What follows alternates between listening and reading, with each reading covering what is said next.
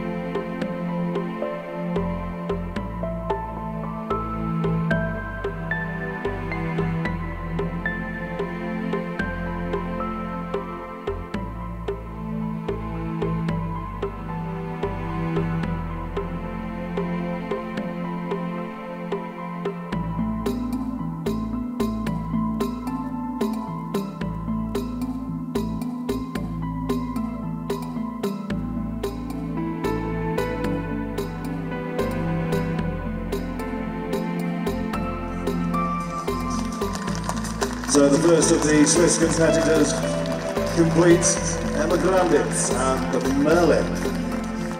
And Ukraine coming in, getting their campaign underway with Diana Borovyk and the ride of Baby Royal. So another ride is still to come for Ukraine a little later on. Germany though still taking the very early lead. Great scores from them for both of the riders.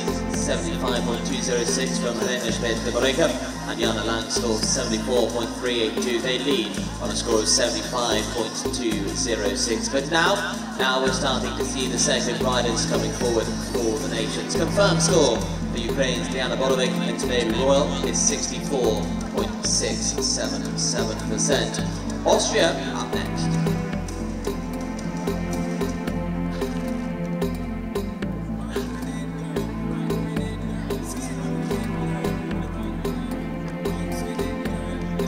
great to see so many nations, so many wonderful support teams as well. But uh, Paul, lots going on from your side of things in the juniors. So uh, bring us up to date on some of those scores. Well, scores in the juniors are looking pretty, uh, pretty tight at the moment. It's tight at the top. It's uh, 71.364 Rowena Vigla for the Netherlands in the lead. And in second place for Great Britain, is Miles Graham with 69.667. But uh, we come now to the second of the riders for the Netherlands. So this is the second round of riders.